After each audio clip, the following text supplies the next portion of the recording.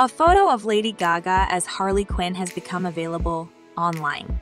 The singer and actress will embody the legendary heroine in Joker, Madness for Two, whose release is scheduled for October 4, 2024. In the pictures, Gaga is surrounded by a crowd near New York City City Hall. The artist appeared in costume and distinctive makeup, shouting her lines into the crowd, accompanied in the script by police officers. The second Joker will be set at Arkham Asylum, where the failed comedian Arthur Fleck meets Harley. The film is rumored to be set in the musical genre. Todd Phillips is once again directing. The cast also includes Brendan Gleeson, Catherine Keener, and Zazie Beetz.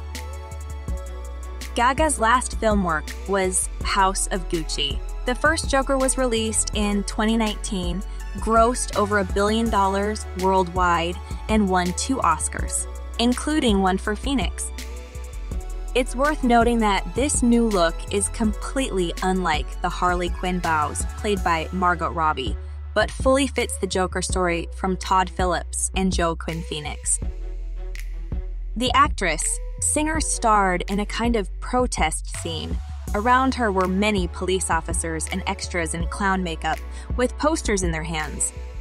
We should add that, according to the plot of the comics, Harley Quinn was the psychiatrist of the villainous Joker, who fell in love with his insane patient and got on a criminal path side by side with him. Both are enemies of Batman,